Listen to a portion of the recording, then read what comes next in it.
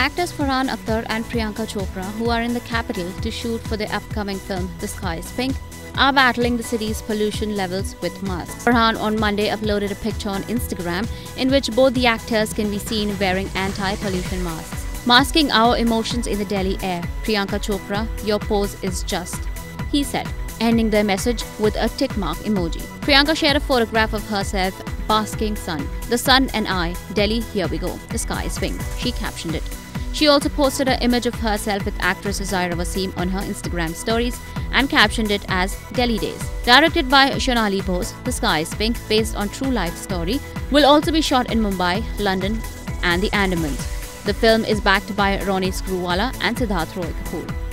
IANS report.